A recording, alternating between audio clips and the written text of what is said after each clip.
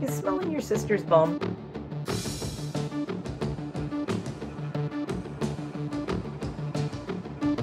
Hi everybody. I have an armful of something and they're talking. Hi, it's me, Mayor NiteMare Bliss, looking like a mess because I am about to go work in my yard. I was working in my yard. Came in to feed everybody. I've got the pigs out. Uh, if you're new here, I am a retired makeup artist, hairstylist, nail tech, and esthetician, and now I live up on a mountain in the middle of nowhere where I rescue a lot of animals. And oh my god, and these are two of them. I do all this YouTube stuff because it's fun. I have showed these two in my videos before, but not lately. So I wanted to give you a piggy break. Piggy break. Oh, you, you want to bite my nail? Do you want to bite my nail? So this is Ozzy and Ed. I did adopt them. I did not buy them. Ed loves to hug under my chin. And they are very big fat piggies. I just ran in to get them because they have their cage in my office, but they also have a giant piggy playpen that they go in so they can run and get their exercise. Uh, let's just talk about them first and then I will show you the piggy playpen. You're going to have to sit down here, Ed. So this is Ozzy. Say hi, Ozzy. Ozzy is actually named after Oswald Cobblepot the penguin. I'm a fuzzy coconut. Hi, baby. I got you. It's okay. I've got you. I've got you. Oh, oh, oh. Do the noise. I adopted them from a family who got them for their son and it was i told this story before facebook groups we have one for our little area here there's only like a thousand people in it or something and it's in my immediate area it's for the residents of this area because i live in a very rural area so if anything's going on like lots of bears around community news things like that so somebody posted that they needed a home for two guinea pigs and I asked about them and they said they're both girls and they're young and we just got them recently. And let me tell you why they had to rehome them. I'm not mad that they rehome them. Ed, where are you going? Ed, you come up next. This is Ed, Nygma. Enigma. Ed is named after the Riddler. Ozzy is named after the Penguin in Batman. They're both girls. But I kind of love it. I have non-binary guinea pigs. It's the coolest thing. I was like, they're meant to be mine. They have boy names. Ozzy and Ed. I also call her Edwina. And Ozzy I just call Oz, the Wizard of Oz. But this is the penguin and this is the Riddler. Here's the story. Very sweet couple. Had to find a home. Did not want to just give them to anybody. They said they were free. They get all the stuff that comes with them. And let me tell you, they outfitted these pigs. They must have spent like at least $200 or more on all the stuff that they bought them. Between the giant cage, the toys, the houses, the beds, all the things they got them. Are you licking my arm? They really spoiled them. The reason they got them is because they had a little son who is adorable, cutest thing in the world. When I met him, he's like, I don't know, he's probably like five or six, had blue hair, and I had blue hair. And I'm like, oh my God, it's a sign we both have blue hair. I adopted them, I think, what, last summer, you guys? I think it was last summer. They got the guinea pigs for their son because they had gotten him chickens first, okay? So they got him chickens, and sadly, they had a predator attack, and all the chickens got killed. And their son was very upset because they were his pets, and obviously they're a very animal-loving, pet-loving family. But in this area, you really I cannot express if you live in a rural area how much you have to protect any animal that you're going to keep outside. Ozzy's very talky. Tell the story about how you adopted us. They got the guinea pigs for their son because he was just completely distraught over losing his chickens. And they thought, well, we can get guinea pigs because they're in the house and and they'll be safe and they'll be fine. Well, they have two cats. and the cats literally terrified these guinea pigs. Like just they were out for blood. They were trying to kill them. I can tell you that I could tell the guinea pigs were kind of traumatized when they got here. They were very jumpy. They were very fidgety. They didn't like to be out of their cage. So sadly, like they said, uh, their son could never play with the guinea pigs because every time he took them out to play with them, the cats would try to kill them, like attack them, attack their son, trying to get to them. So it was a miserable experience. And they said the last thing we want is he's already really young and impressionable. We don't want his life to be filled with losing pets at this young age. So they were so scared that the cats were going to kill the guinea pigs. And they just didn't want him to go through another huge loss like that. So they put these two up for adoption.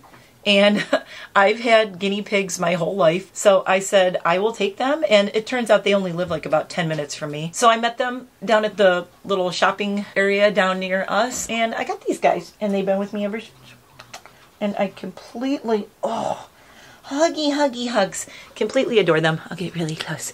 That's the back. I love the markings on Ozzy.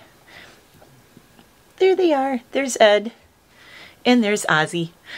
And I'm going to go put them in their playpen because I have to get outside and get back to work. They already had their bowl of greens this morning. I'll probably put some carrots in the playpen for them. And I am doing this month, finally, the guinea pigs chose my makeup. True story, I actually put makeup down and let them choose the makeup. If you guys like it, maybe we'll do more guinea pigs choose my makeup. I also want to do Cersei chooses my makeup, my turkey. I want to put makeup down and let her choose it. and see what she chooses for me because you know I don't want you to get bored and plus I have all these animals but I love doing makeup so I'm trying to figure out ways to involve you guys you, you guys love guinea pigs choose my makeup don't you Ed is better at it Ed's better at guinea pig chooses my makeup Ozzy just kind of looks at it but Ed is the first one to go up and grab things. The guinea pigs and my dogs all get along, in case you're wondering. I did put up a short at one point, I think an Instagram story of Eliza playing with them, and she follows them around. So none of the dogs hurt the guinea pigs. My dogs have all been around guinea pigs. I had a guinea pig previous to these two named Ivy. She was also a rescue slash adopted. Uh, I lost her from old age. She was, oh God, she lived a long time. Passed away in her sleep on my lap. Lost her in 2019. And then I got these guys in 2021. So I was pigless for a little while. Uh, honestly, now that I have them again, I'm just, I'm so happy because I love them. So I'm going to go put them in the playpen and I will show you the playpen in just a minute. We are in my master bedroom. This is the giant piggy playpen that I built for them. And there's a big thing of dog toys over there. So there's Ed running around. Ozzy is in the pumpkin. And they have a little litter box, food and water, lots of potty pad, tubes. Oh my God, they love that little green tube. I leave them in here for a couple, few hours every day, sometimes longer. But they absolutely love this thing. There's a Lydia for scale. It's pretty big. As you can see. Happy pigs. They love the pumpkin. Oh, here comes Ozzy.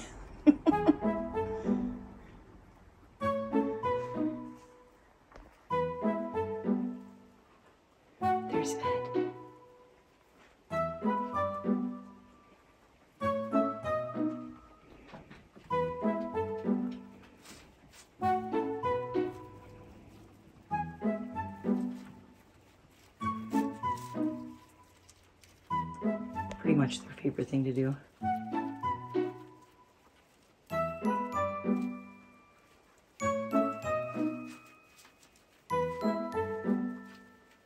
Oh my god, it's guinea pig ASMR.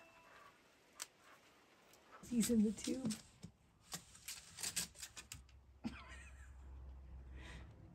anyway, so this is where they are going to be playing while I am outside working in the yard. That's the pig playpen. And they get to run around here and get lots of exercise, which is very important because they do have a big cage, but they can't really run and jump and be all goofy and everything. So this gives them a lot of space to get exercise in. I mean, their cage is big. I think you guys have seen their cage. Hold on, we'll walk over and see their cage really quick. This is their cage. And there's Lydia again for scale. This cage is almost as big as their playpen, but not quite. The playpen's like twice as big as this. So they do have a lot of space in here. I have to clean this tomorrow. It is guinea pig cage clean day. I clean it once a week. And then after they're in their playpen for a day or so, I sweep it all out and clean that. I keep everything really clean with them. Hi, Lydia. I keep it really clean because for one, I'm kind of allergic. And for two, guinea pigs do not like to be Hi, Eliza. Guinea pigs do not like to be in a dirty cage or a dirty space. They really love this playpen. Oh, excuse the fact that there's not a cover on this. That one has to be replaced, so my husband's doing that this weekend. Oh, I think Ed's going in the tube now. Lydia's like, they're in there, aren't they? Oh, Lydia, you playing with the ball? Lydia knows they're in there, but I can smell them, but I can't see them. Lydia likes them too, but all of my dogs really, really, really love guinea pigs. Rusty was the one that loved them the most. These two used to sleep with Rusty. Ozzy, you gonna go in your tube again? No.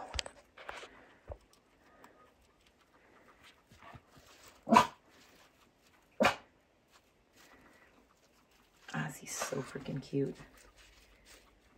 Ozzy, our hair matches. We have matching hair now. Edwina, what in the world are you doing?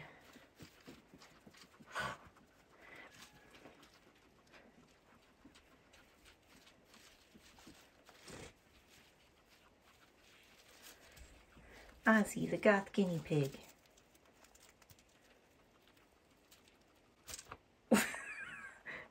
He's smelling your sister's bum. She's like, cut it out. Oh, and so you know, these two get along great. They've been together since they were babies. So they were always a pair. Ed is the dominant one for sure. Ed tends to push Ozzy around a little bit. Like Ed ate first and now Ozzy's over here eating. Ed's in there. They love this because there's like, I put an igloo in there so they can go around the outside or the inside. They like to play in that. Are you going in the pig bed? No? So these are a couple of very happy, healthy pigs. That's what guinea pigs should be like. Right, Lydia? Lydia, you need a haircut. Where's your face? Lydia, where's your face? Where's your face, Nitty? She goes, I don't know, Mom. You're a dog groomer, right? Do something about it. yeah. Liddy, do you need a haircut? You need your haircut, Liddy? Liddy says, I need my haircut. Okay, we'll give you a haircut. Liddy is overdue for a haircut, as you can see. Oh, if you're new and you're looking for Lydia's eyes, Lydia was born with no eyes. See? No eyes. No eyes, no problem, Lydia. That is her. No eyes, no problem, Lydia is Lydia's Instagram, by the way. She does have an Instagram. But she was born with no eyes, but she is the happiest dog in the world because she doesn't know that anything's missing. And I love how like her eyebrows, she, they move around. My um, vet said she may have very tiny vestigial eyes in there, but they're, there's just two little slits. She can't see at all. can't see anything. Okay, now my voice is getting weird because FYI, I am actually allergic to guinea pigs. I washed my hands, but my neck under my chin where I was hugging them and breaking out a little bit. So I'm going to go wash my neck up, and my hands are okay, but yeah, I am allergic to them, but I just don't care because I love them so much, so I put up with it. And I'm happy to give them such a good home because they were rescues. You never want them to go to a home that doesn't understand guinea pigs or what they need. They get fresh salads every day. They get their greens, their water, their uh, their nail trims. So yeah, they got their nails trimmed yesterday. And uh, yeah, I love them. So thanks for watching. That was meeting Ed and Ozzy we will see you in a future video. I'm going to try this month to do my guinea pigs choose my makeup look because I started filming it. They chose the makeup. I just have to film the look. They want me to do it, and you probably do too. Okay, see you in the next one. Bye.